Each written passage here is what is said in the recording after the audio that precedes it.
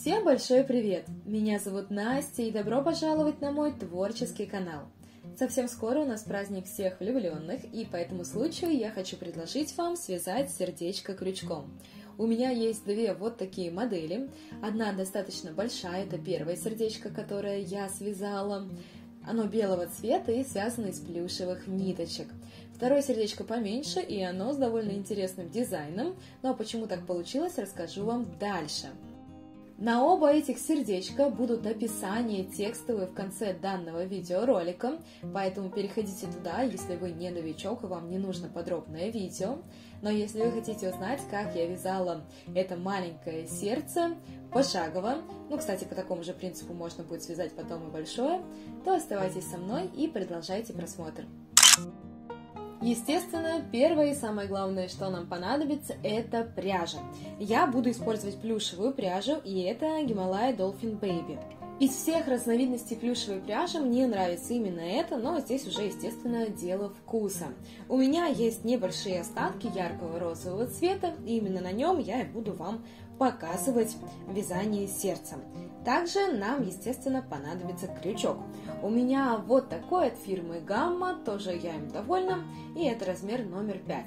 Также для подобных ниток может подойти крючок э, размером, например, 4, 4,5, 5 и даже 5,5. Все зависит от вашей плотности вязания. Конечно, еще нам понадобятся такие вспомогательные инструменты, как ножницы и немного наполнителя пригодится. Давайте же приступим. Сначала нужно сделать две воздушные петли. Для этого я беру ниточку, оставляю у нее небольшой кончик и сделаю узелок. Ввожу крючок, перекручиваю его, захватываю рабочую нить и вытягиваю ее через отверстие. Таким образом у нас получается узелок и петелька, которая торчит из него. Теперь через эту петлю нам нужно провязать два раза рабочей нитью. Крючок у нас в петле, захватываем им рабочую нить, вытягиваем ее через образовавшееся отверстие. И таким образом у нас получилась воздушная петля. Делаем то же самое еще раз. Крючок у нас в отверстии, одна петелька на крючке и через нее вытягиваем рабочую нить. И у нас получилась вторая воздушная петля. Соответственно, у нас теперь есть две петельки, и во вторую от крючка мы вставляем крючок, соответственно, и в эту петлю мы будем провязывать 6 столбиков без накида. Для этого я беру рабочую нить, подхватываю, вытягиваю ее, теперь на крючке у меня две петли, и через обе эти петельки я протягиваю рабочую нить. Таким образом получается первый столбик без накида. И осталось сделать еще 5 в это же отверстие.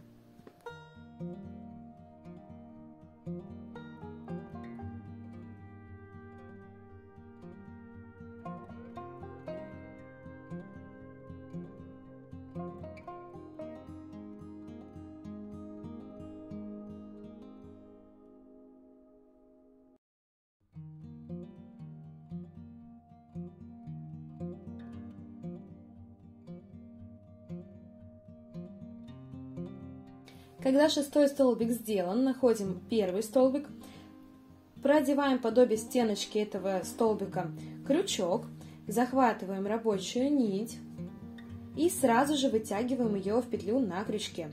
Таким образом делаем соединительный столбик. Важный момент при работе с плюшевой пряжей, на который я советую обратить внимание, так это захват нити. Плюшевая пряжа довольно фактурна. И для того, чтобы у нас образовались вот такие небольшие объемные бороздочки, видите такие объемные полосочки при вязании, важно захватывать пряжу крючком, подбирая ее сверху. То есть мы заводим крючок и пряжу захватываем каждый раз вот таким образом. То есть не вот так снизу, а крючок у нас должен располагаться поверх пряжи каждый раз. Именно это позволяет сделать такую интересную текстуру. Сейчас нам нужно будет провязать 6 прибавок, то есть по прибавке в каждую петлю в этом кольце. Итак, прибавку сделать очень просто. Сначала мы делаем столбик без накида в одну петлю, и в эту же петлю мы делаем еще один столбик без накида.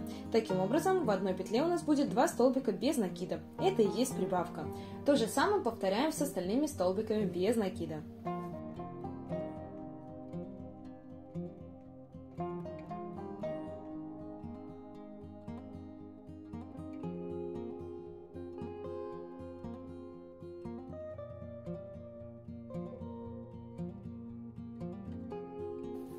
Таким образом, в конце этого круга у нас должно получиться 12 столбиков без накида. В третьем ряду мы будем провязывать 3 столбика без накида, одну прибавку. Таким образом делаем 3 раза до конца ряда, и у нас в конце ряда получится 15 столбиков без накида. Вяжем 1, второй столбик без накида, третий столбик без накида, а вот сейчас, в следующий, в четвертый, мы провязываем два раза столбик без накида. Таким образом, 4 и 5 в этот же столбик. Далее идем точно так же, еще два раза.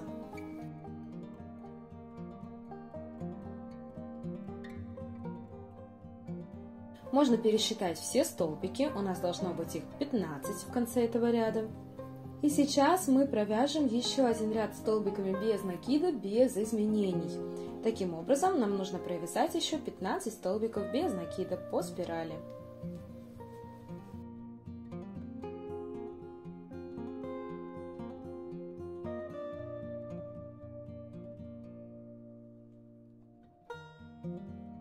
Заканчиваем эту деталь, и у нас с вами сейчас получилась одна из верхушек. Чтобы завершить вязание этой детали, я делаю соединительный столбик, завожу крючок в следующую петлю, захватываю рабочую нить и сразу же вывожу ее через петлю, которая была на крючке. Таким образом получился соединительный столбик, и чтобы затянуть его, сделаем воздушную петлю. Через образовавшуюся петлю на крючке просто протягиваем рабочую ниточку. Чуть-чуть ее вытягиваем, оставляем буквально 5 сантиметров и обрезаем нить.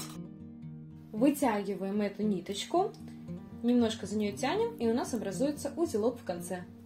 Деталь надежно закреплена. Сейчас нам нужно будет провязать таким же образом еще одну деталь. Это будет вторая вершинка сердечка.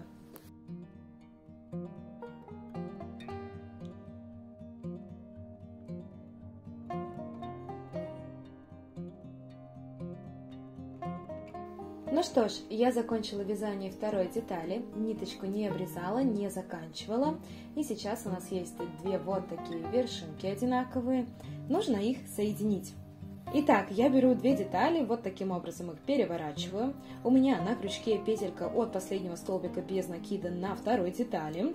Беру первую деталь и ввожу крючок в петлю, которая шла после ступеньки, где мы завершали вязание и захватываю рабочую нить. Протаскиваю ее сразу через два вот этих отверстия. Одно это там, где у нас вставлен крючок в первую деталь, и второе это там, где у нас была вторая деталь. Вытягиваю рабочую нить. Таким образом мы соединили две детали, и сейчас нам нужно провязать будет 15 столбиков без накида по первой детали. Далее мы переходим сразу же на вторую деталь и здесь свяжем 15 столбиков без накида. Давайте сделаем этот шаг вместе. Начинаю идти по первой половинке.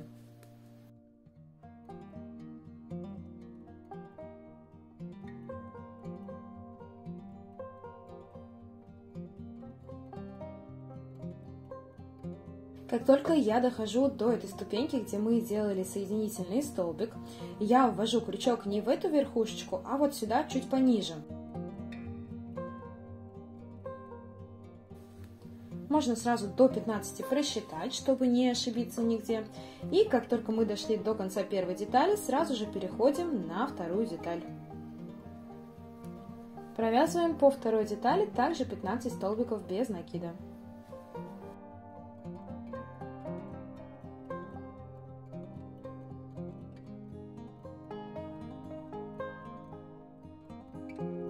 Таким образом, когда мы закончили это все вязание, получается примерно 32 столбика без накида в, во всем этом большом ряду.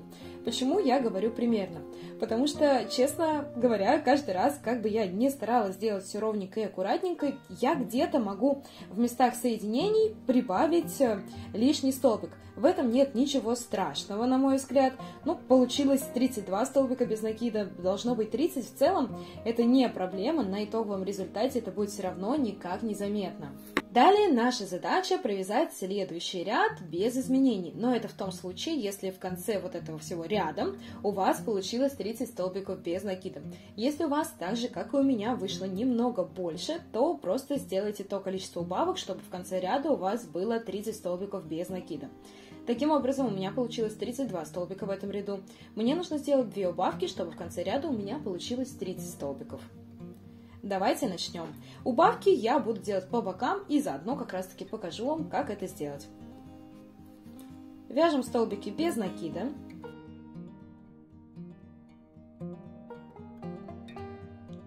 Я дошла до боковой части одной из половинок и покажу, как я делаю на плюшевой пряже. Именно на плюшевой пряже я только таким способом пользуюсь. Убавку. Я завожу крючок под одну петлю, захватываю рабочую нить, вытягиваю ее и завожу крючок под вторую петлю. Также захватываю рабочую нить и вытягиваю ее. На крючке, внимание, у нас теперь три петли. И через все эти три петли я протягиваю рабочую нить. И далее продолжаю вязать также по столбику без накидов каждую петлю. Сейчас я дойду до второй боковой части и покажу вам а, еще раз, как я делаю убавку.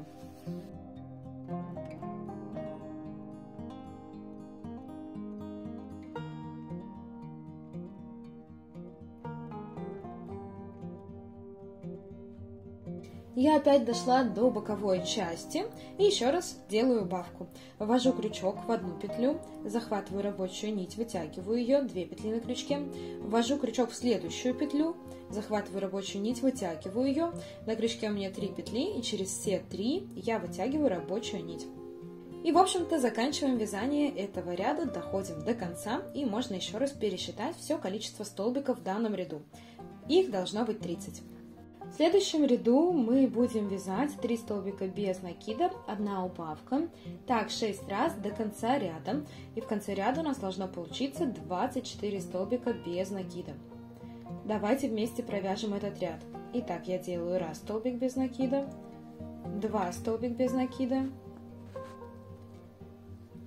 3 столбик без накида и четвертый делаю убавку. Захватываю рабочую нить в одной петле, во второй и через 3 петли протягиваю рабочую нить. Это был у нас четвертый столбик. 5, 6, 7, 8. Также делаем убавку. И таким образом двигаемся до конца ряда.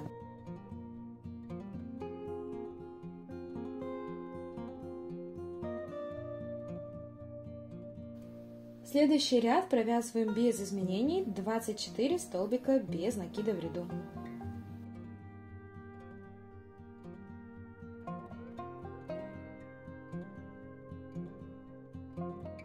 Как вы видите, у меня закончилась одна ниточка, и я хочу прицепить сюда вторую сразу, ну и покажу вам, как я это делаю.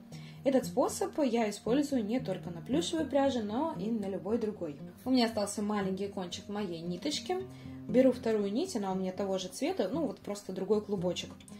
Вставляю крючок в следующий столбик без накида, захватываю вот эту вторую ниточку от нового клубка, вытягиваю ее и провязываю уже новой рабочей нитью столбик без накида обычный. Провяжу еще один столбик сейчас. И там, где у нас оставались ниточки, это предыдущая рабочая нить и новая рабочая нить, я их просто связываю обычным узелком двойным этого не будет видно, так как это все изнаночная сторона, на лицевой это никаким образом не отобразится. Собственно, таким же принципом можно делать и изменение цвета. Ну и дальше вяжу уже этой ниточкой.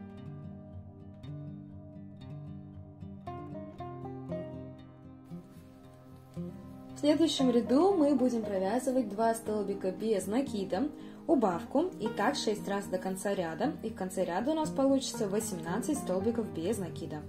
Давайте немного повяжем вместе. Итак, первый столбик без накида, второй столбик без накида, и дальше делаем убавку.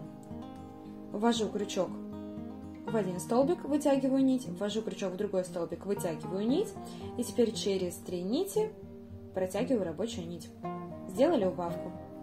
И таким образом еще пять раз.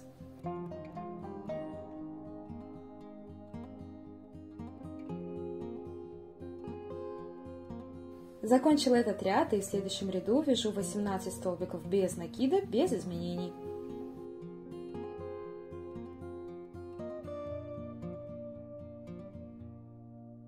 Закончила этот ряд и в следующем ряду вяжу один столбик без накида, одна убавка, так 6 раз до конца ряда, и в конце ряда должна получиться 12 столбиков без накида.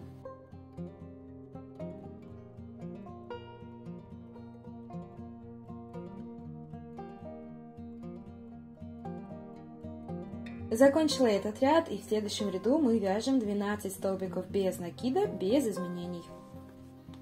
И это будет наш предпоследний ряд.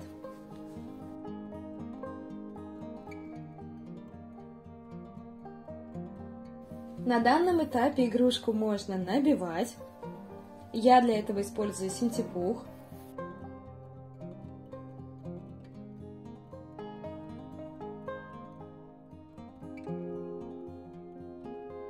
Ну и в последнем ряду мы сделаем 6 убавок. Как видите, у меня остается совсем чуть-чуть ниточки, и больше у меня ниток этого цвета нет, поэтому я просто надеюсь, что мне этого хватит.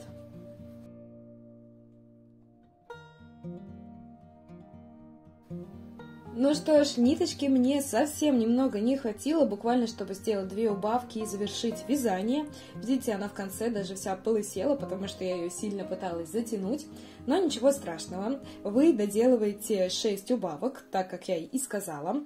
В конце делаете соединительный столбик и воздушную петлю, отрезаете ниточку и вытягиваете ее. Таким образом у вас образуется узелок. Это то же самое, что мы делали для завершения вот этих вот верхушек. Когда вы закончите вязание, нужно затянуть вот это образовавшееся отверстие. Я для того, чтобы вам это все продемонстрировать, возьму ниточку другого контрастного цвета. Вот у меня есть небольшие остатки желтого. И использовать удобнее всего вот такую пластиковую иголку. Итак, после того, как вы сделали воздушную петлю, вытащили ниточку, мы начинаем стягивать отверстие. Каким образом? Начинаем заводить оставшуюся нить под одну из стеночек каждой петли в отверстии. То есть я нашла первую, завела. Нашла вторую, завела в нее. В третью завела. В четвертую, соответственно, в пятую и в шестую, так как у нас должно было быть именно 6 столбиков без накида в этом ряду. Затем просто тянем за ниточку. Она стянула все отверстие. Ну и можно сделать обычный узелок. То есть протягиваем вот так иголочку через другие столбики, вытягиваем ее, и все. Таким образом у нас создается узелок. Потом ниточку можно продеть куда-нибудь сюда, например. Вытягиваем вот так вот ниточку и обрезаем ее вот здесь. Но я хочу хоть как-то реанимировать получившийся у меня желтый низ у сердечка, поэтому я попробую немного добавить каких-нибудь декоративных элементов здесь. Просто небольшие крапинки.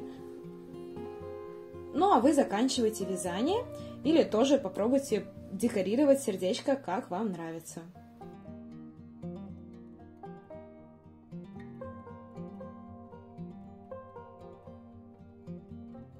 Ну что ж, такое довольно необычное сердечко с таким странным цветовым сочетанием у меня получилось. Ну вот как есть. Как видите, в творчестве не бывает безвыходных ситуаций. Главное задействовать как-то фантазию. Но знаете, э, в этом сердечке с крапинками что-то есть. Мне нравится такой достаточно яркий аксессуар. Я очень надеюсь, что данное видео было для вас интересным и полезным. Если это так, то не забудьте поставить ему пальчик вверх и подписывайтесь на мой канал. Мне будет очень приятно. Также я очень надеюсь, что вы на меня не в обиде за то, что у меня закончилась ниточка в данном видео. Все-таки разные ситуации бывают, и надеюсь, что вы не будете а, за это ругать данный мастер-класс. Как обычно, хочу пожелать вам вдохновения и позитива, а также напомнить о том, чтобы вы заглядывали в описание к данному видео, ну а также не забыли, что в конце вас ждет текстовое описание данных сердечек крючком. Хорошего вам настроения и всем пока! thank you